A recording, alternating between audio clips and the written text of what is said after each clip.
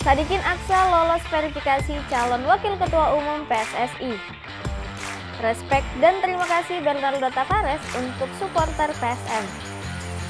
PSM Makassar datangkan dua punggawa timnas muda. Gol terbaik pekan ke-21 milik Jakob Sayuri. PSM Makassar perpanjang kontrak Bernardo Tavares.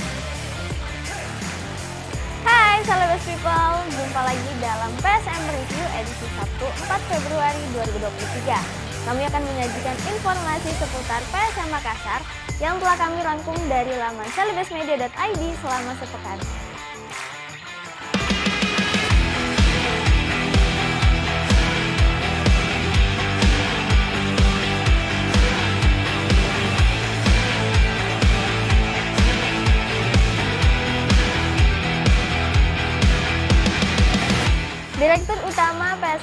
Makassar Sadikin Aksa lolos verifikasi calon Wakil Ketua Umum PSSI bersama 16 orang lainnya. Hal itu diumumkan Komite Pemilihan di Stadion Utama Gelora Bung Karno pada Selasa 31 Januari 2023. Ketua Komite Pemilihan Amir Burhanuddin menyampaikan bahwa Komite Pemilihan menjalankan tahapan mengumumkan daftar calon sementara Komite Eksekutif PSSI periode 2023-2027. Sebelum mengumumkan daftar calon sementara, Komite Pemilihan melakukan verifikasi dokumen termasuk menerima hasil verifikasi integritas para bakal calon dari Komite Disiplin PSSI mulai tanggal 25 hingga 30 Januari lalu. Amir mengatakan, dalam verifikasi dokumen para bakal calon di internal komite pemilihan terjadi dinamika yang sangat hebat. Dinamika ini terkait ketelitian dan pemahaman tentang dokumen persyaratan yang harus sesuai dengan statuta federasi. Dalam daftar calon sementara yang diumumkan, Amir mengatakan untuk kategori calon yang lolos memenuhi syarat meliputi 5 calon ketua umum, 16 calon wakil ketua umum, dan 53 calon anggota komite eksekutif. Sedangkan kategori calon yang tidak lolos tapi dapat mengajukan banding hanya ada dua nama dari calon anggota komite eksekutif. Untuk kategori calon yang tidak lolos dan tidak dapat mengajukan banding ada lima calon wakil ketua umum dan 27 calon exco. Kongres luar biasa pemilihan akan digelar pada 16 Februari 2023 mendatang. Supporter menjadi salah satu kunci kemenangan PSM Makassar atas Trans Nusantara FC pada laga pekan ke-21 Liga 1 2022-2023. Mereka rela kehujanan sejak sore hingga malam hari untuk terus memberikan dukungan kepada pasukan Ramang di Stadion Gelora B.J. Habibie, Kota Parepare pada Senin 30 Januari 2023. Dalam laga yang sempat dihentikan sementara itu, PSM tertinggal lebih dulu sebelum memastikan 3 poin lewat gol Ramadan Sananta dan Bres Yakob Sayuri.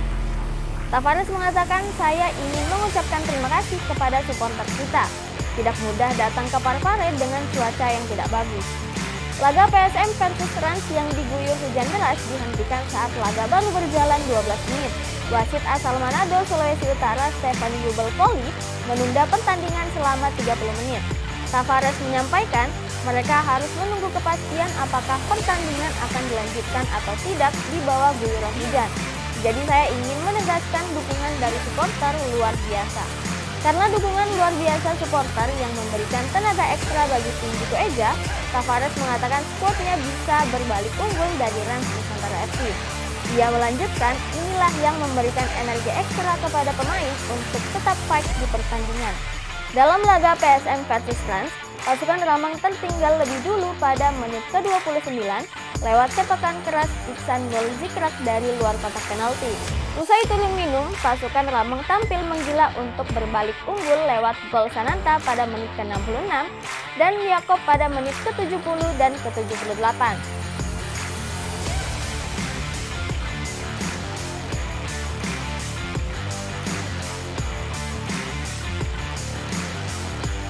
Atas hasil tersebut, PSM Makassar masih menempel ketat Persija Jakarta di klasemen sementara Liga 1 2022-2023.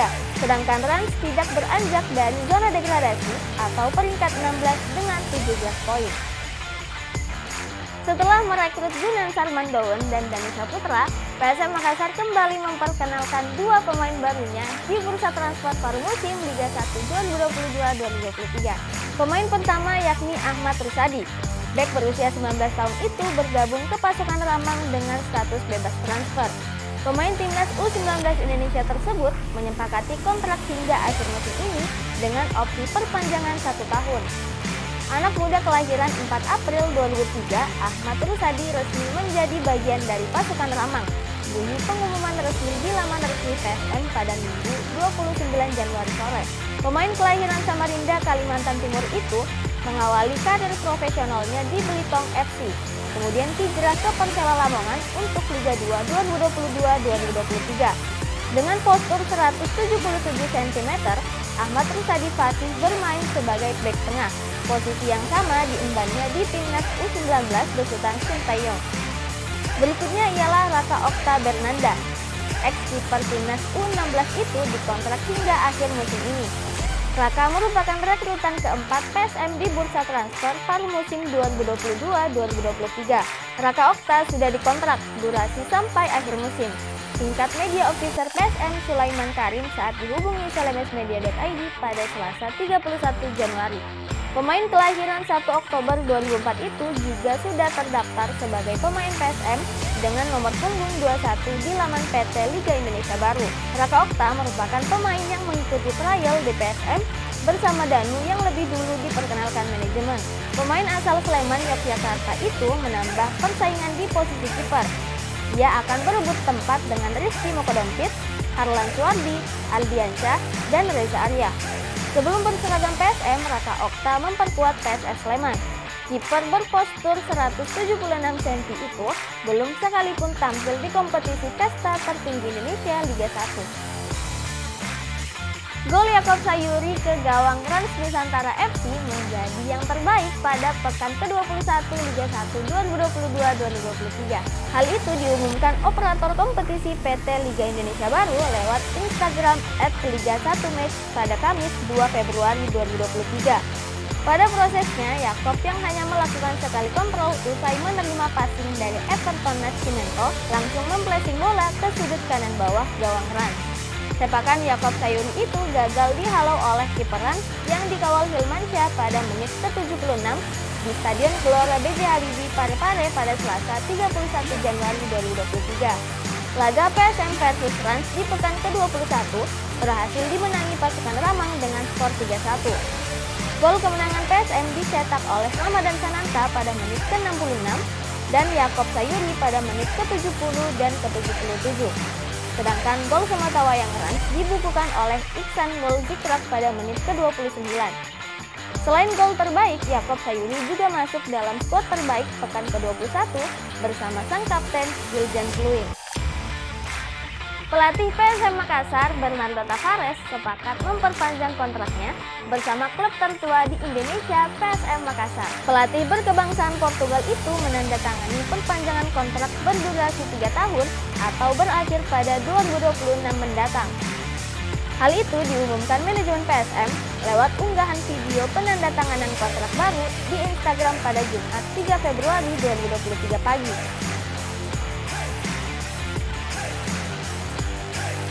Direktur Utama PSM Sadikin Aksa mengatakan, perpanjangan kontrak ini setelah evaluasi capaian PSM Makassar di Liga 1 musim 2022-2023 hingga putaran pertama selesai. Di putaran pertama Liga 1 musim ini, PSM mengakhirinya di peringkat pertama alias juara paruh musim. Sebelumnya, PSM mencatatkan prestasi gemilang di level internasional dengan mencapai final zona Asia Tenggara AFC Cup musim 2022, kemudian juga semifinal turnamen pramusim Piala Presiden musim 2022. Dengan perpanjangan kontrak tersebut, manajemen berharap agar Bernardo Tavares bisa memiliki waktu untuk membangun fondasi tim PSM Makassar. Selain itu, manajemen juga berharap agar Bernardo Tavares terus mengembangkan potensi pemain-pemain muda Akademi PSM Makassar sebagai cikal bakal skuad senior. Sadikin melanjutkan, perpanjangan kontrak ini sebagai bukti kami percaya sepenuhnya kepada Bernardo Tavares untuk bersama-sama dengan manajemen PSM Makassar membawa tim ini jauh lebih berprestasi.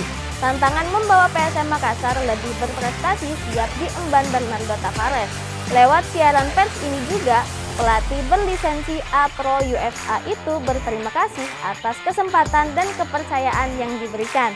Bernardo Tavares mengatakan, terima kasih atas kepercayaan ini. Kami akan bekerja keras bersama-sama. Saya juga tidak lupa untuk meminta dukungan dari para supporter. Nah, Salabes People, itulah tadi informasi seputar PSM Makassar yang telah kami rangkum selama sepekan.